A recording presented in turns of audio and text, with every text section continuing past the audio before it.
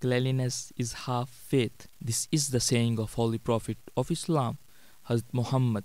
May peace and blessings of Allah be upon him. By the grace and mercy of Allah, the Ahmadiyya Muslim community Greece was able to organize its first New Year cleanup activity to mark the beginning of 2019. The activity began with congregational early morning prayers, followed by Fajr prayer and the summary of Friday sermon of Hazrat Mirza Masroor Ahmad. May Allah be his helper, worldwide head of Ahmadi Muslim community. It highlighted how Ahmadi Muslims should begin their new year. Among many other things, these Ahmadi Muslims also prayed for world peace and the prosperity of their country, Greece. After the breakfast, 19 youth and elders of community walked nearly 40 minutes to reach the Parliament Square, also known as Syntagma Square in Athens.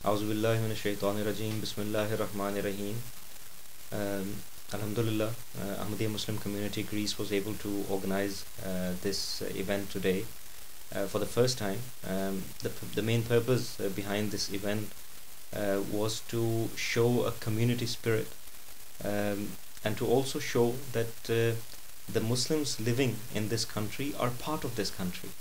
And uh, Islam teaches, uh, the Holy Prophet of Islam, Muhammad wasallam, has taught us that loyalty to uh, one's country is part of faith.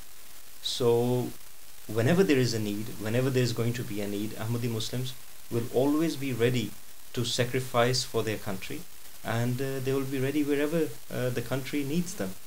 Uh, so, may Allah enable us to keep this uh, work uh, going and to serve our country in the best possible manner. Amen. The group was then divided into three smaller teams who were assigned different parts of the square for cleaning. All three groups spent nearly four hours cleaning the Syntagma square.